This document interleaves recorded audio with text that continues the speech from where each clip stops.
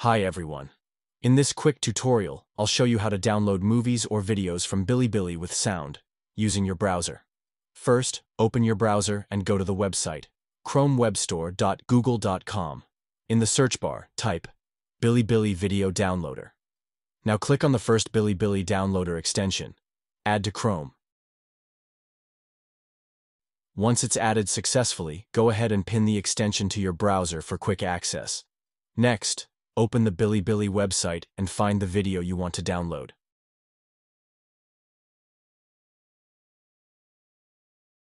Here you can choose the video resolution, for example, 360p, 480p, 720p, 1080p, etc. Click the download button. A new website will open. Click the download button again on the new website. Click the three dots, and then click the download button again on the new website. The video will start downloading immediately.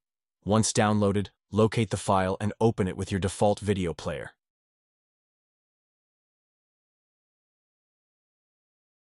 You'll see that the video is downloaded with sound. 我室友半夜拿我们手机贷款，我们一觉睡醒背了二十多万债务。帮他们搞钱啊！ And that's it. That's how you can download Bilibili videos with sound on your phone or PC.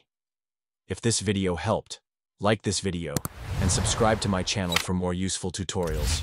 And don't forget to press the bell icon so you never miss an update. See you in the next video.